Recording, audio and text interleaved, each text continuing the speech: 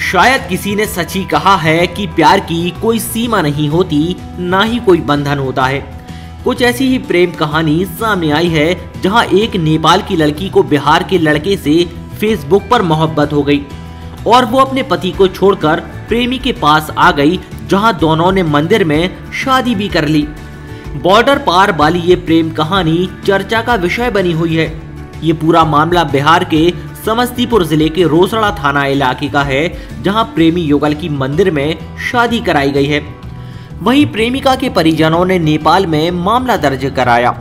बताया गया कि अपने पति का घर छोड़कर आई महिला अब अपने प्रेमी के साथ ही रहना चाहती है। जानकारी के मुताबिक बिशनपुर गाँव के 24 साल के विकास कुमार की नेपाल की 26 साल की पार्वती से फेसबुक पर दोस्ती हुई। दोनों के बीच एक साल तक चैटिंग और बातचीत होती रही।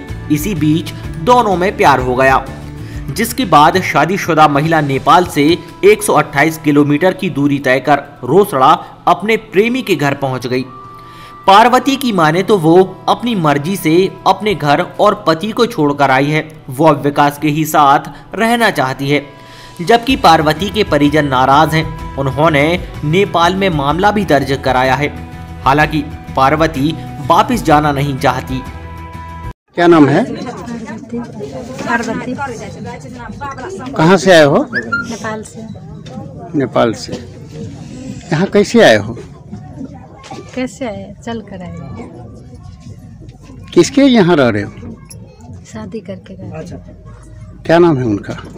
विकास। कौन सा गाँव है? कौन सा बिशनपुर थाना? राज़ी। खुशी से रह रही हो? हाँ हम राज़ी खुशी से रहे। नेपाल से कोई दबाव भी है? हाँ दबाव रहे वहाँ मुकदमा हुआ है। हाँ। आप शादीशुदा हैं? कहाँ? वहाँ शादी किए हुए थे? हाँ। फिर ये दूसरा शादी है।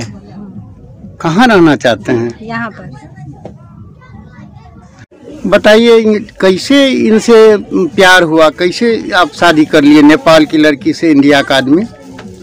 मुझे तो फेसबुक से कांटेक्ट हुआ है।